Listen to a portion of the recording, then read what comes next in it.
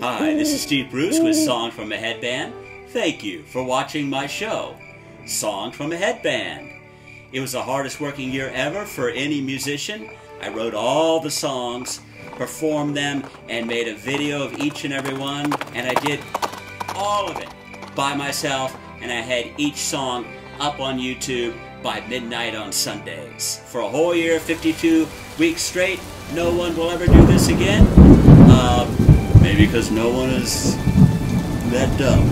Anyway, if you'd like to stick around and see some of the other songs from the show, you'll see more headband drawings of titles submitted by YouTubers around the world.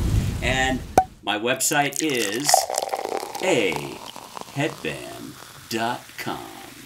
And you can get the album from the show. There'll be 30 songs from the YouTube World Record on that album. And you can check out the other songs coming up right now